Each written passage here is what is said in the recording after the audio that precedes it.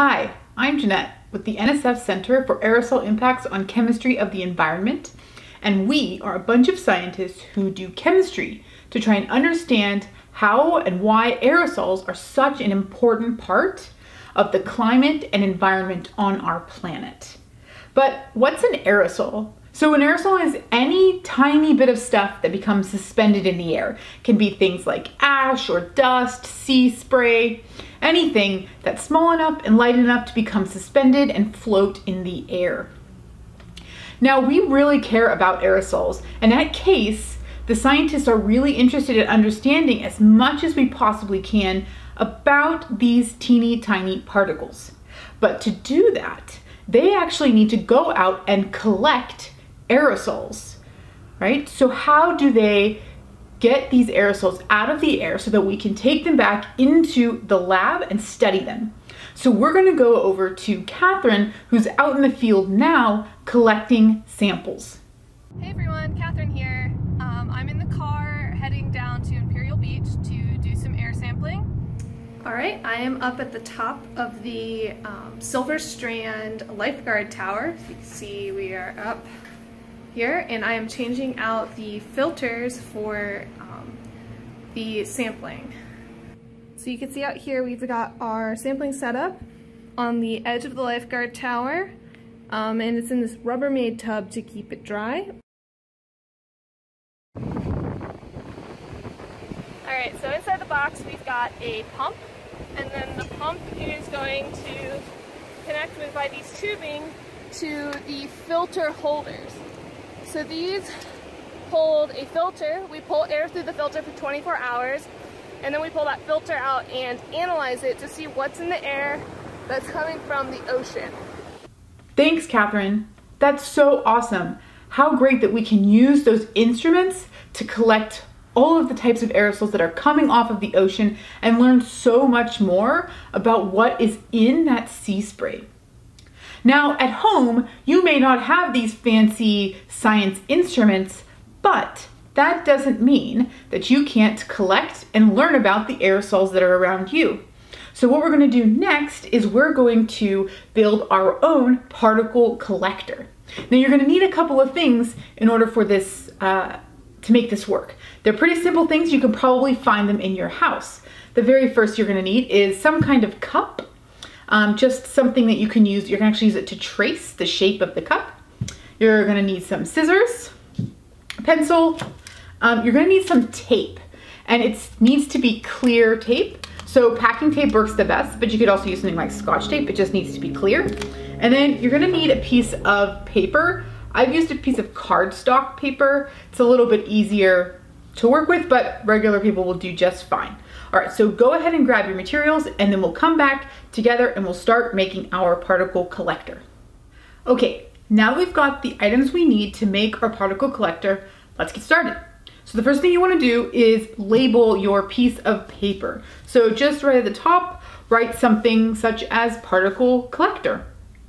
All right, now once you've done that, we are going to go to the next step, which is to create the areas where we will actually be collecting the aerosol particles. So for that, we're gonna use the cup uh, and you're gonna wanna trace the shape of your cup um, a couple of times on the piece of paper. I'm gonna do it three times. And the reason that we're using a cup to trace this is that we want each of these um, areas that we create where we're gonna collect the particles to be the same size. All right, so I'm gonna go ahead and trace my cup a couple of times. One, two, three. There we go. Now, once you have those circles traced on your piece of paper, um, the next step is actually to cut them out. So you're gonna cut out the paper that's inside of the circle so you're left with a hole in the paper. All right, so let's go ahead and do that step.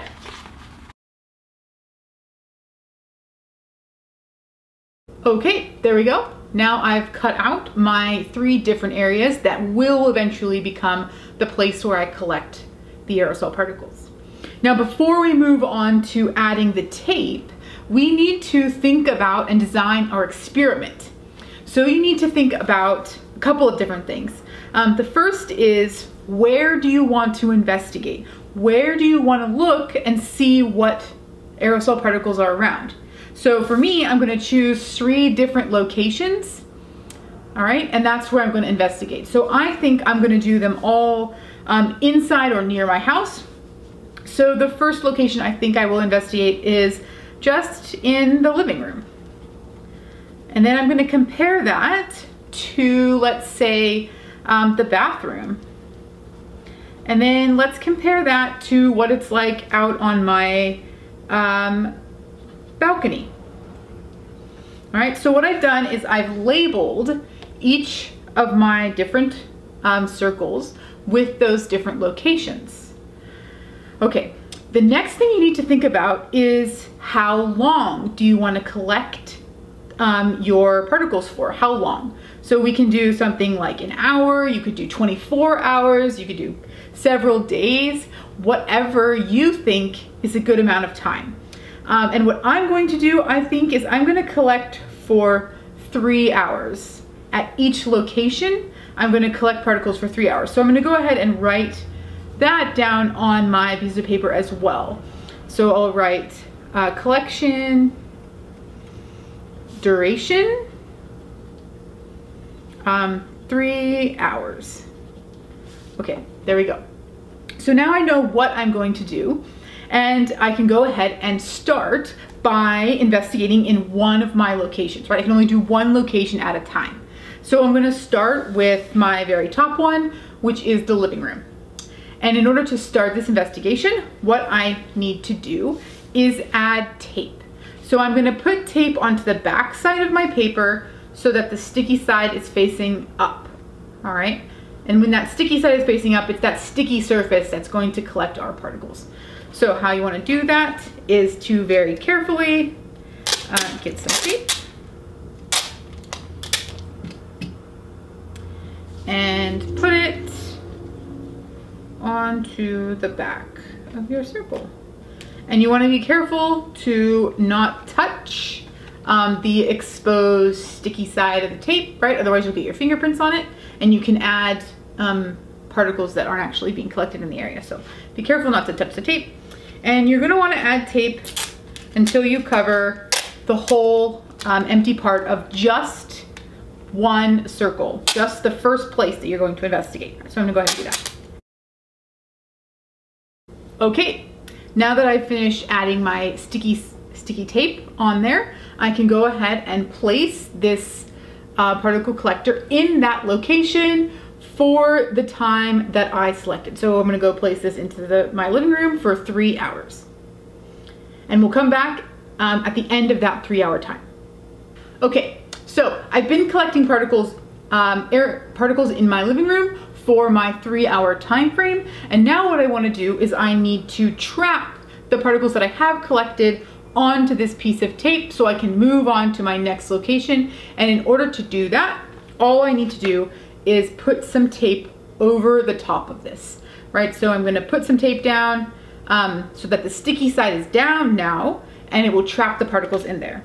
So I'm going to go ahead and do that.